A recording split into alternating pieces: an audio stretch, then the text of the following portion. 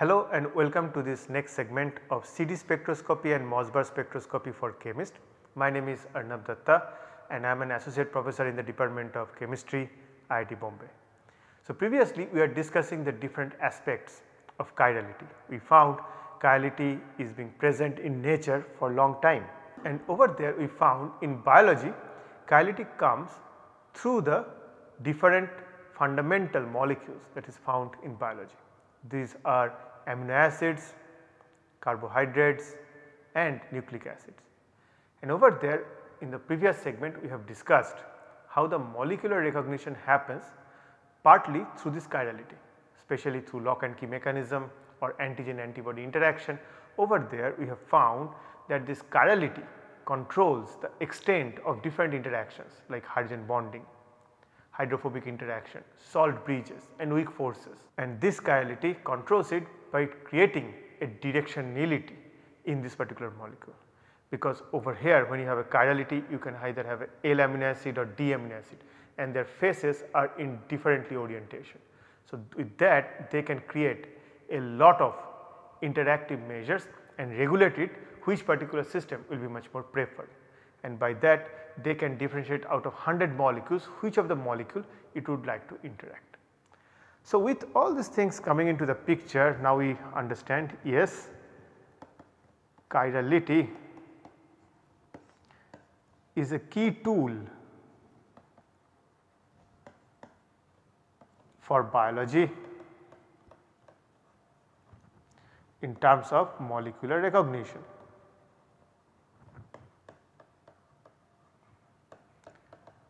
Now the problem we are facing that to have this fundamental question where and how this chirality become a part of this biological system that is the question we would like to answer in this particular segment. So before going into that details let us look into chirality one more time. So when we say chirality again by definition it is a mirror image of a particular object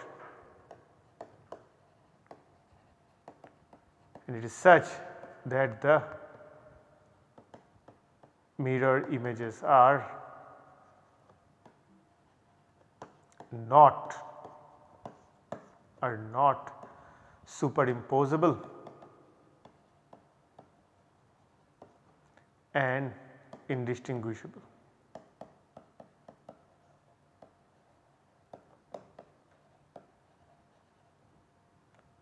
That is what we learn and from a symmetry point group we know which says that the molecule cannot have any particular SN axis present in that molecule which bring us down that the molecule should belong to CN or DN point group. N can be also 1 for the case of CN. So that we have learned so far. And one thing we also found that chirality can be detected only by a chiral environment.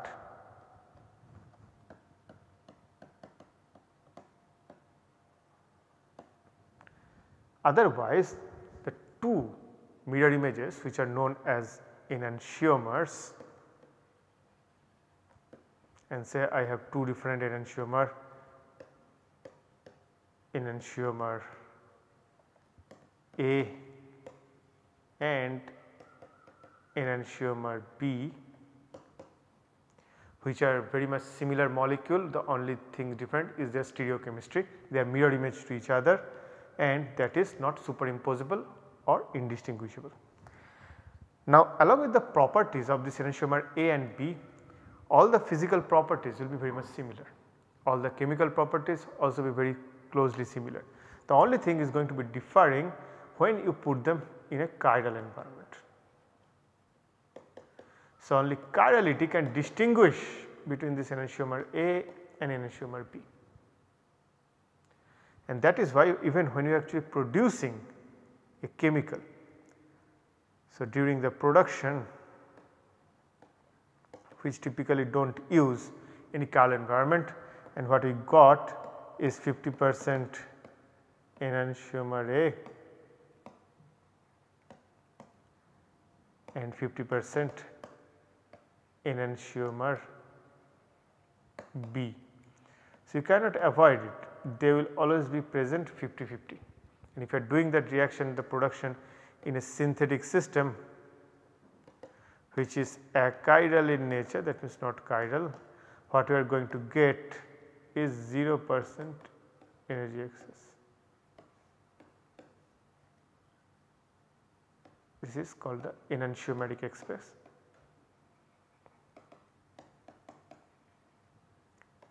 So, you are not going to get any enantiomeric excess both of them will be same. So, we get a racemic solution. However, if we create an environment which is chiral in nature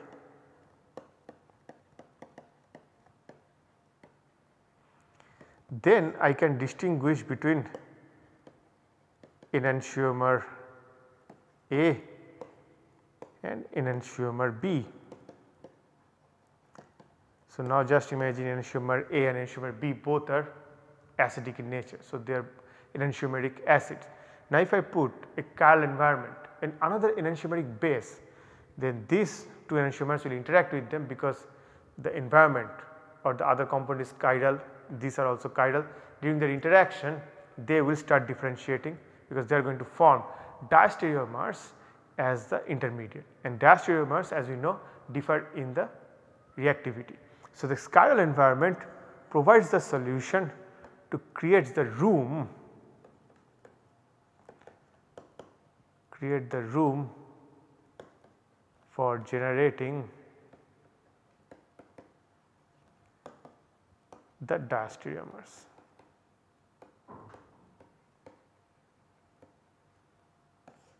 And with that we can separate out enantiomeric A and enantiomer B that means we can actually get an enantiomeric excess at the end.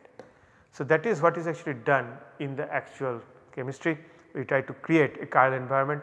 For an example, we are actually having enantiomer A and B almost at same level we want to separate them. We actually use a chiral column which actually creates the environment.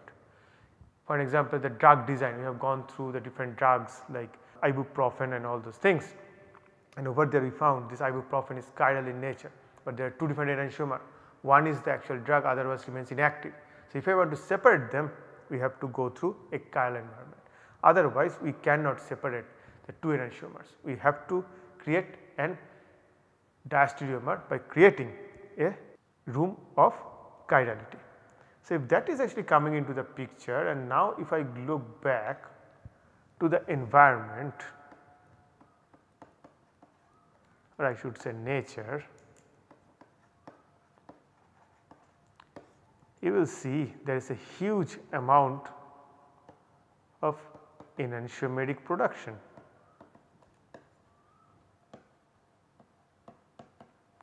Now the question is how it is doing enantiomeric production by the nature and however we found most of the time they have exclusively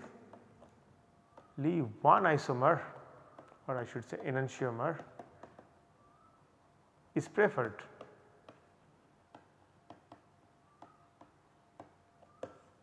So that actually gives us an idea that where I am doing these reactions in the nature they are actually creating chiral environment.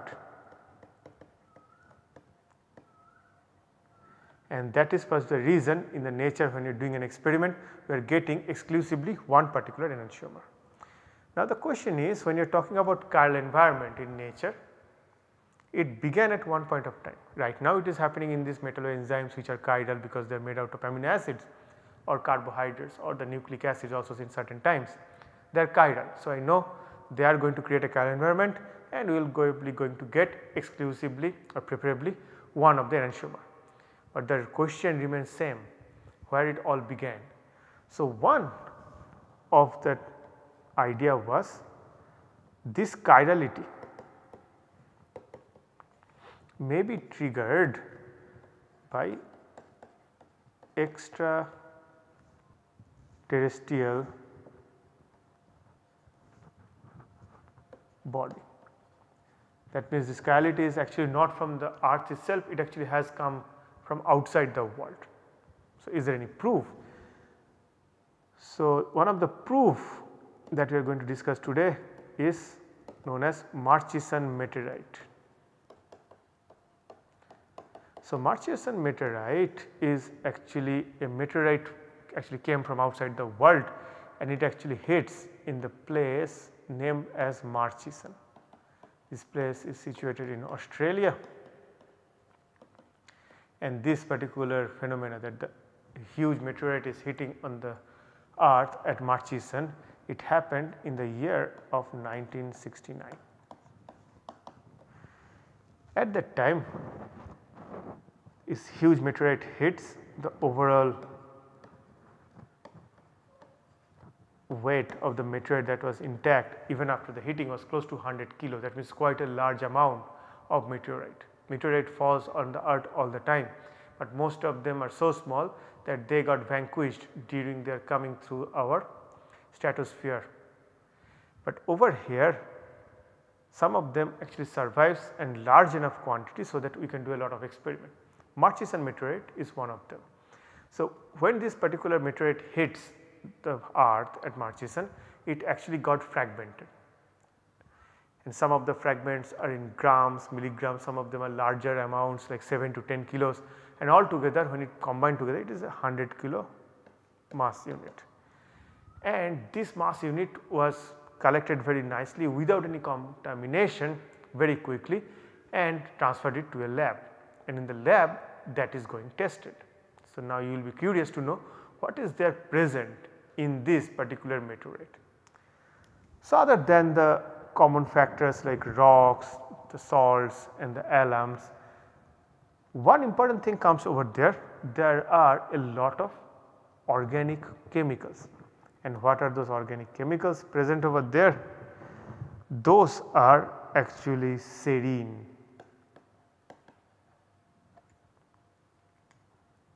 glycine, alanine, glutamic acid,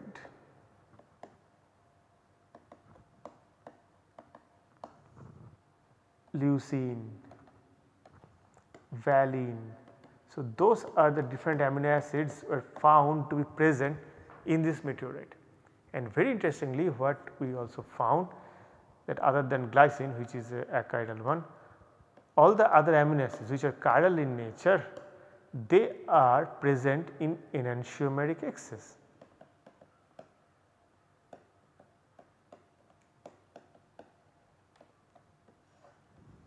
That means this molecules is preferring one amino acid or the other. When you look closely found there are both L and D amino acids are present, but they are favoring the L amino acid. And one of the hypotheses is that millions of years ago some of the meteorite falls on the earth which actually has this L amino acid and at that time earth was a hot soup where we actually having a lot of chemicals around us and they start forming this initial part of the biomolecules.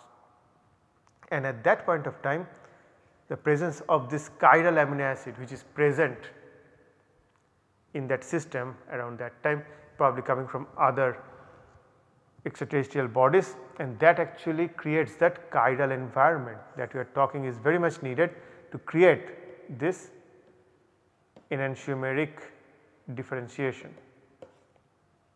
And this enantiomeric differentiation is then favored and we got as a product one of the enantiomers more than the other and that is possibly what is happening over here and Murchison meteorite is one of the examples of it. But very interestingly when we are looking into the Murchison meteorite in further details we found these are the amino acids we already found even on earth. So, they are all present but additionally there are some other amino acids.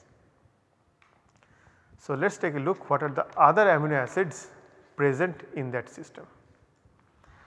And we found they are majorly hydroxyl group bound system.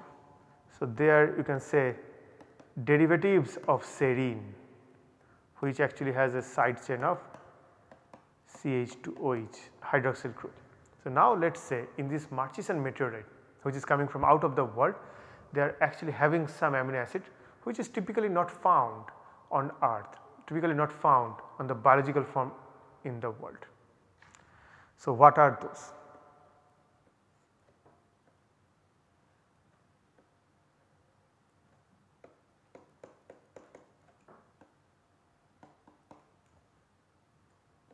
This is a hydroxyl group secondary hydroxyl and this is the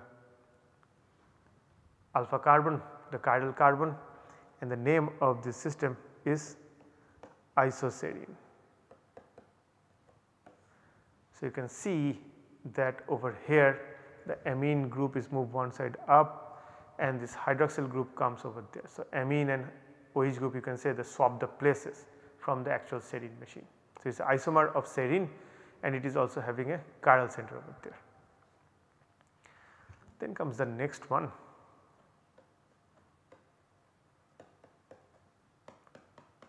which actually contains the amino acid we know for but instead of CH2OH this molecule is CH2 CH2OH. So, there are two CH2 groups over there and this is the alpha carbon. So, let me draw that properly.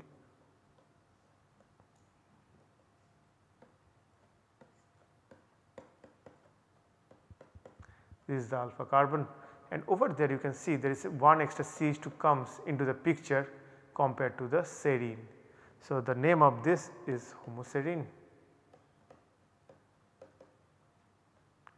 and it has been found also in enantiomeric excess due to the presence of this alpha carbon. So, all of them are present in Murchison meteorite and not only that they are present enantiomeric excess wise that means one of the enantiomer is favored. The next one is the following.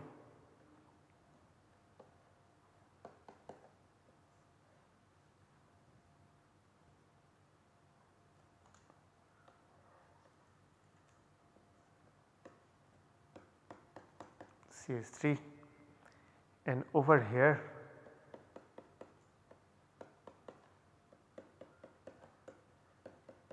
this is the group. So, NH2 group and OH group are present over there in this molecule and this is you can say a derivative of threonine. So, we call them iso threonine.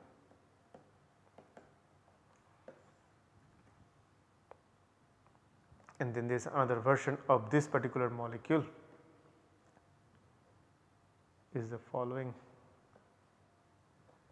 very much similar looking structure CH3 over here, COOH over here, OH over here, but over here the NH2 group changed its position. And over here you can see there are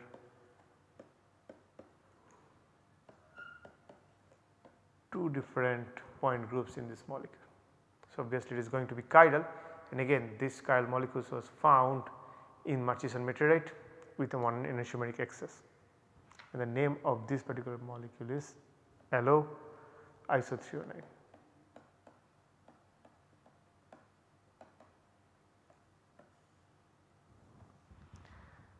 Then we have certain more amino acids present that will go one by one.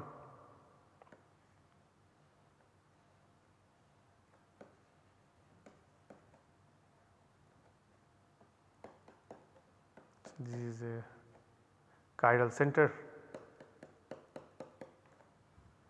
over here and this known is 4 amino 2 hydroxy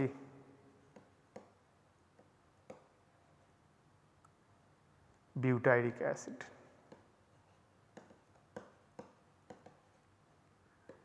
So, take the first letter of each name and the name comes as 4A2 HPA.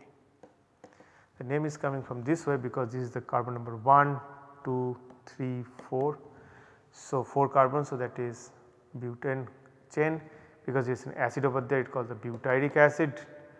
Number 1 positioning is from carboxylic acid that was the preference. Then number 2 is this 3 and 4 and over there we just write down the name of the positioning. 4 amino 2 hydroxy butyric acid.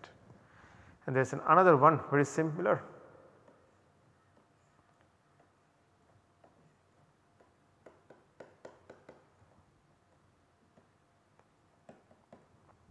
And over here the position of the OH changes it comes over here.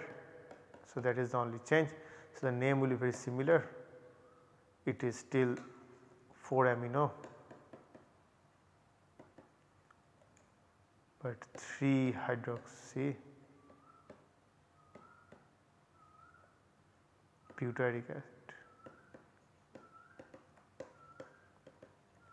In short form 4A3 So, this is also been found in Murchison meteorite. So, you can see they are all different versions of hydroxyl base amino acid. And there is one other more. You can see it over here. That will go to the next one. Is the following carboxylic acid is very much similar to the previous ones, but over here OH groups go to the terminal NH2 goes come into the middle of the molecule and this is still a chiral center and the name of this molecule is beta homoserine. So, you can say it is a beta amino acid is presenting alpha beta.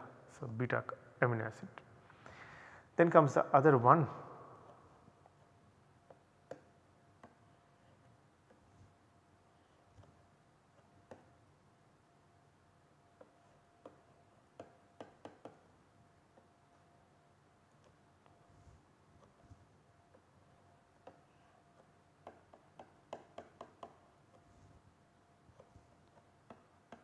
So, over here we are just putting this carboxylic acid in one place or the other and changing where is the chiral carbon. The name of this amino acid is 3 amino 2 hydroxy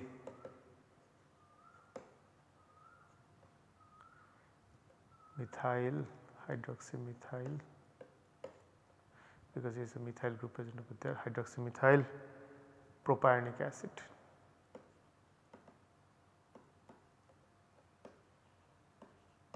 In short from 3A to HPA. So, it is the number 1 carbon over here then 2 then 3. So, this is the 3 amino that is why it is the 3 amino 2 position is the hydroxymethyl group over here and the rest of the name is propionic acid. 3 member ring. So, that is what is coming over here. There are the other two amino acids we also found over there. These are the structures.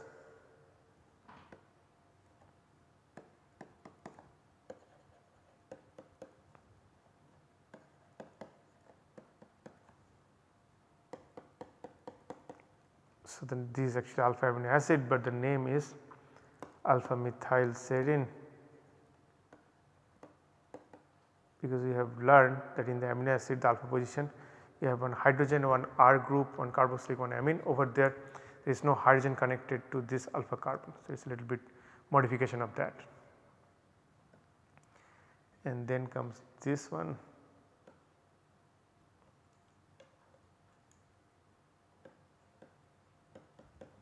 carboxylic acid group then we have an NH2 group over here and there is another carboxylic acid group. So, this is a version of succinic acid and the name of that is beta aminomethyl succinic acid. And over here this is a alpha carbon. So, you can see in this meteorite molecule we have samples from different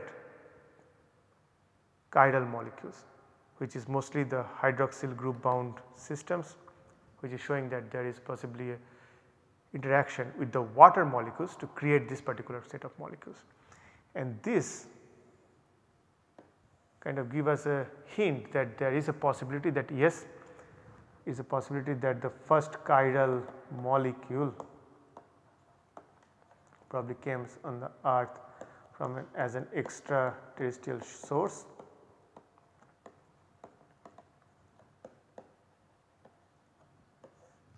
and secondly this probably triggered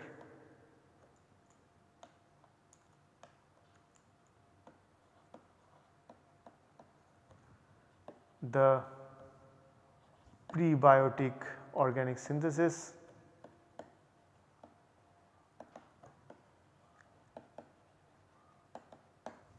And it also showed that the initial presence of this chiral molecule creates the chiral environment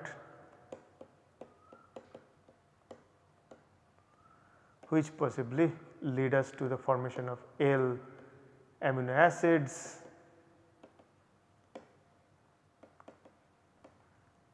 or D carbohydrates.